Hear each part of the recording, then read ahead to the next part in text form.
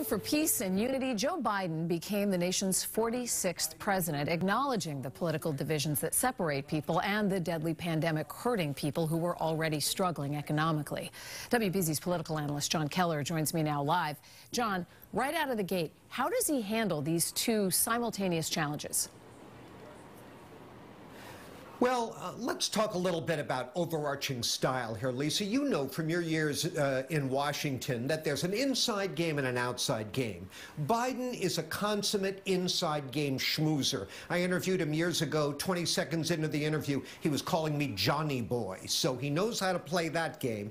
As far as the outside game goes, in his speech today, the new president said politics doesn't always have to be a raging fire, right? Well, okay, then don't throw logs on that fire.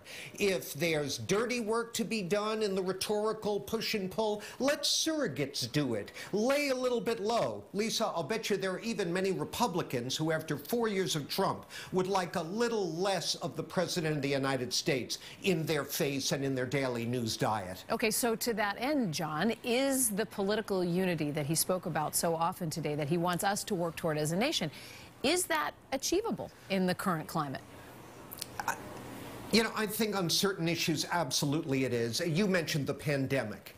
Uh, now that the nation's number one mask scofflaw is gone, I think it's worth trying again. And of course, Biden has said he wants uh, every American to wear a mask for the first 100 days, and he's going to mandate it in federal buildings and on federal property. So on issues like that, it's, it's not against anyone's political interests to bring this pandemic to a swift end and get the economy going again, not to mention uh, slowing and stopping the loss of life. On other issues, it's going to be tougher, but you know what?